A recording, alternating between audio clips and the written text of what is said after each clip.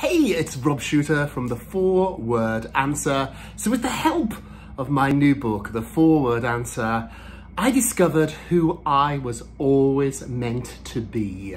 That guy that was hiding so deep down inside me for so long.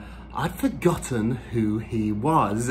Has that ever happened to you? You just forgot who you were, that person that you were meant to be, that happy person, that kind person, that successful person disappeared and suddenly life became mundane, just ordinary, and you did the same thing over and over again each day, forgetting who you were meant to be. I think it's happened to all of us. However, what does not happen to all of us is that very few get a chance to dig deep and find that lost person. With the four word answer, my new book, I'm gonna teach you, I'm gonna show you how to find that person that is so deep down inside you, you have forgotten who they are. We're gonna find them together with the four word answer, my new book, which is available right now for pre-order